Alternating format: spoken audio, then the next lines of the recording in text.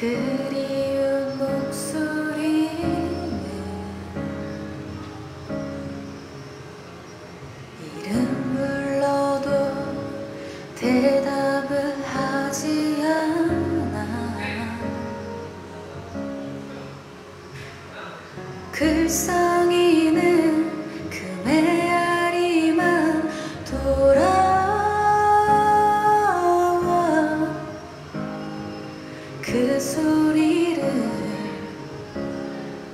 나 혼자서